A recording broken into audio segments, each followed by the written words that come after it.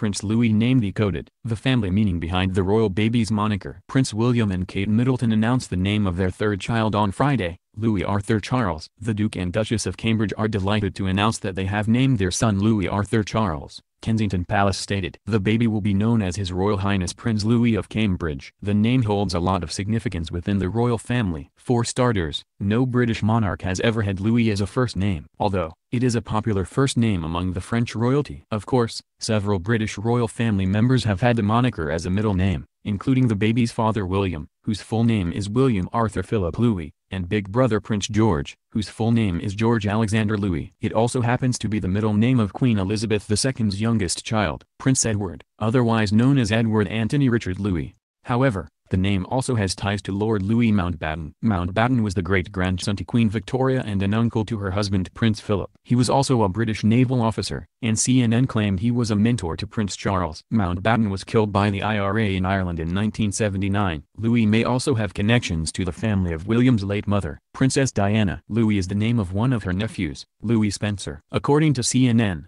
Louis also stems from the name Ludwig, which can be interpreted as renowned warrior. Arthur and Charles hold significant meaning, too. First, both names are shared by the baby's grandfather, whose full name is Charles Philip Arthur George. Once again, William also shares Arthur as a middle name. In addition, Charles is a middle name of the child's uncle Prince Harry, whose full name is Henry Charles Albert David. It could also be a reference to King Charles I and King Charles II. Of course, the name Arthur dates back to the legendary British leader King Arthur, as well as to one of Queen Victoria's sons, Prince Arthur.